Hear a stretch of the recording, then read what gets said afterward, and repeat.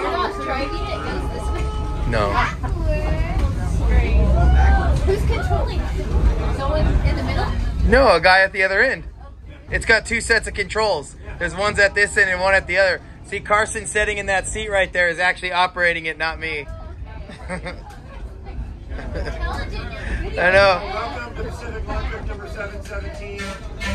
This car was built in 1925 and it remained in service on the Pacific Electric until 1959. There were 160 of these cars made for the Pacific Electric. They were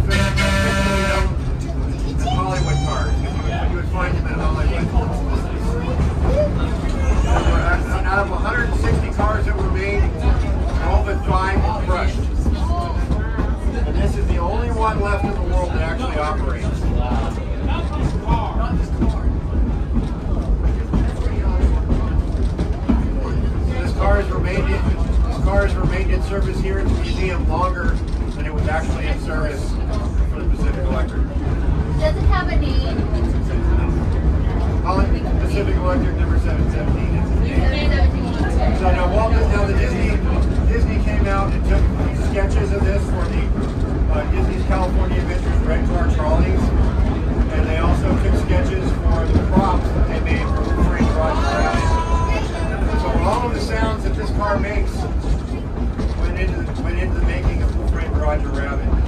So every every every trolley sound that you hear from the, from the poles sliding along the wire to the brakes, the screeching on the wheels on, on tracks, are all from this car. And today there's a miniature version of this car that runs up and down the streets of Disney's California Adventures. Who repairs the wiring? Excuse me? Who repairs the wiring? Uh, we have volunteers that take care of that.